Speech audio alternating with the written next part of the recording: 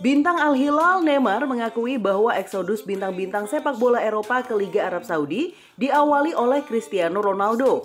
Neymar jadi bintang terkini yang datang ke Saudi Pro League. Kehadiran Neymar yang masuk dalam jajaran pemain terbaik dunia saat ini membuat kualitas Liga Arab Saudi bakal terus meningkat.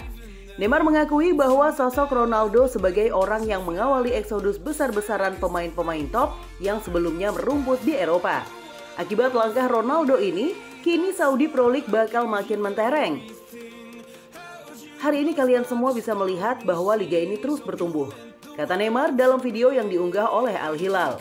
Ronaldo datang ke Arab Saudi dan bergabung dengan Al Nassr pada awal 2023. Sejak Ronaldo datang, Saudi Pro League langsung mendapatkan sorotan tajam. Pasalnya, Ronaldo adalah pemain besar yang mengambil langkah mengejutkan dengan pergi ke Arab Saudi. Hal tersebut terbilang belum lazim di sepak bola Eropa. Setelah Ronaldo merumput selama setengah musim, Saudi Pro League kemudian makin gencar menghadirkan bintang-bintang Liga Eropa. Saat ini ada banyak pemain top yang sudah datang ke Arab Saudi. Ronaldo Ronaldo Ronaldo متألق من سنين هذه Neymar akui efek Cristiano Ronaldo. Bintang sepak bola asal Brazil Neymar Junior resmi pindah ke Al Hilal, klub asal Liga Arab Saudi. Nilai transfer pemain asal PSG tersebut mencapai 100 juta euro atau sekitar 1,6 triliun rupiah. Sedangkan Al Hilal menjadi salah satu klub tersukses dan terkaya di Asia. Total Al Hilal telah mengkoleksi 66 gelar. Dengan pindah ke Al Hilal di usianya yang masih 31 tahun, Neymar akan menjadi atlet sepak bola yang kaya raya. Dikontrak oleh Al Hilal selama dua musim, rekening Neymar bakal semakin buncit. Total Neymar mendapat bayaran sekitar 2,5 triliun rupiah per tahun. Kalau dua tahun bersama Al Hilal, Neymar akan mendapatkan 5 triliun rupiah. Sementara di Eropa tak ada yang berani memberikan gaji yang sangat mahal seperti yang didapatkan oleh Neymar dari Al Hilal. Neymar mengaku bahwa kepindahannya ke Saudi bertujuan demi mencari tantangan baru dalam karir. Pemain berusia 31 tahun itu ingin menjadi anggota dalam gerbong perubahan besar bersama sederet bintang top lain yang diboyong dari Eropa. Tujuan mereka ialah membawa Roshan Saudi League, nama resmi kompetisi ini, ke level lebih tinggi di dunia sepak bola. Liga di sini akan sangat kompetitif, terutama setelah perekrutan yang dilakukan di bursa musim panas. Saya percaya bahwa persaingan yang kompetitif itu penting. Itulah kenapa saya bergabung di liga ini. Ujar Neymar dalam rilis interview resmi pertamanya. Neymar juga mengaku tak sabar bermain bersama ataupun melawan pemain-pemain kelas kakap yang pindah ke Saudi. Secara khusus, dia memberikan porsi pujian yang tinggi kepada Cristiano Ronaldo superstar Portugal itu dianggap pionir atau perintis terbesar dari eksodus para pemain sepak bola top ke Jazirah Arab.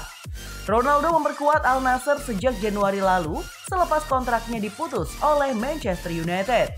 Pasca kedatangannya, gelombang migrasi pesepak bola kondang ke negeri Raja Salman tak tertahankan.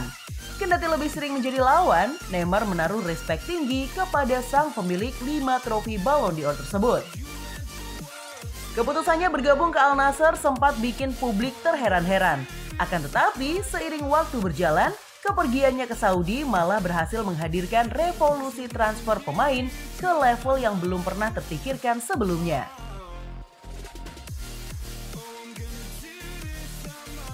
Neymar resmi pindah ke Al Hilal, masuk transfer Liga Arab Saudi termahal Neymar resmi merampungkan transfernya ke Al Hilal. Striker asal Brazil itu akhirnya memulai babak baru dalam karir sepak bolanya di Liga Arab Saudi seusai enam tahun bermain bersama Paris Saint-Germain.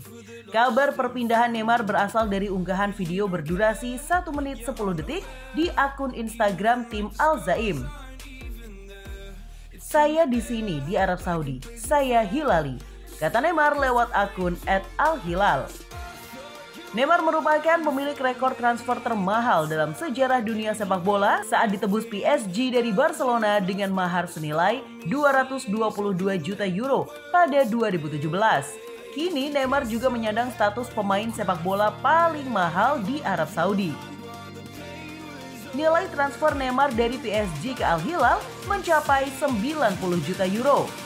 Besaran nilai transfer itu bahkan menyalip rekan satu klub barunya, Malcolm, yang diakuisisi senilai 60 juta euro dari Zenit Saint Petersburg. Kehadiran Neymar membuat skuad Al Hilal bakal makin diperhitungkan. Pasalnya, tim asuhan Jorge Jesus itu telah mendatangkan sejumlah pemain bintang seperti Kalido Kolibali, Ruben Neves, Malcolm, hingga Sergei Milinkovic-Savic. Permintaan khusus Neymar ke Al Hilal. Perekrutan Neymar oleh Al Hilal telah menambah jumlah bintang sepak bola di Liga Pro Saudi. Transfer bintang Brazil dari Paris Saint-Germain ke tim Riyadh itu dimungkinkan setelah klub Arab Saudi itu menggelontorkan dana triliunan rupiah. Namun bukan hanya gaji yang dituntut seorang superstar olahraga seperti Neymar pindah dari satu klub ke klub lain. Di Al Hilal, pemain Brazil itu akan mendapatkan 200 juta euro atau 3,3 triliun rupiah dan 350 juta euro atau 5,8 triliun rupiah selama 2 tahun hanya di belakang Cristiano Ronaldo dan Karim Benzema. Selain gaji, ada juga permintaan lain yang harus dipenuhi untuk mengamankan tanda tangannya. Harga permintaannya tidak murah, seperti yang bisa kita bayangkan. Faktanya, surat kabar Inggris The Sun telah meluncurkan daftar permintaan yang luas. Selain mobil, termasuk misalnya rumah dengan 25 kamar tidur, 3 sauna, kolam renang berukuran minimal 40 kali 10 meter, juga pesawat pribadi. Besar mana gaji Neymar Junior di Al Hilal atau gaji Cristiano Ronaldo di Al Nassr? Usai kepindahannya ke Al Hilal, dia mengikuti jejak Cristiano Ronaldo yang lebih dulu bermain di klub Arab Saudi Al Nassr. Langkah Cristiano Ronaldo pindah ke klub Arab Saudi memang cukup mengejutkan publik.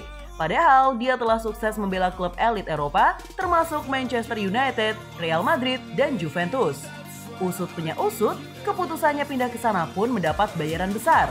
Ronaldo digadang-gadang mendapat bayaran 200 juta US dollar per tahun atau sekitar 3 triliun rupiah lebih per tahun.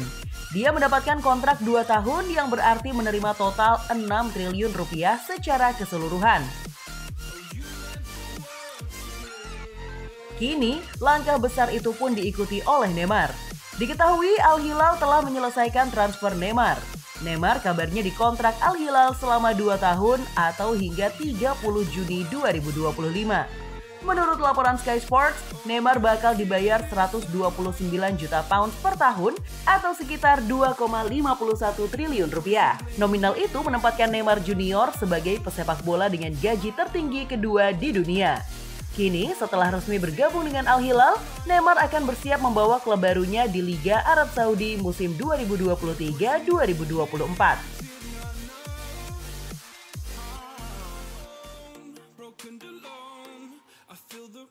Keyakinan Cristiano Ronaldo pada Liga Arab Saudi. Cristiano Ronaldo antusias melihat pemain-pemain top menyusulnya ke Arab Saudi. CR7 meyakini Liga Arab Saudi akan makin berkembang. Liga Arab Saudi menjadi sorotan setelah Ronaldo bergabung ke Al Nassr pada awal tahun 2023. Bomber Portugal itu menaikkan kontrak 2 tahun bersama The Global Club.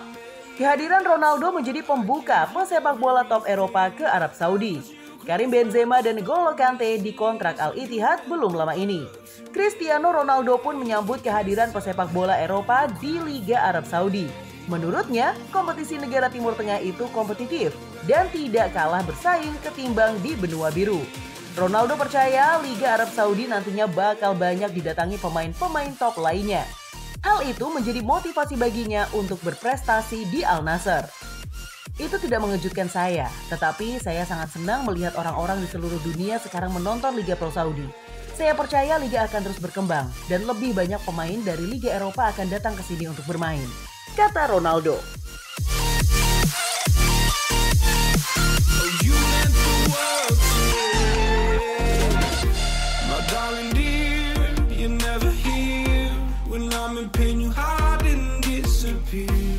shadows in Gimana football lovers? Aduh, pasti seru banget ya.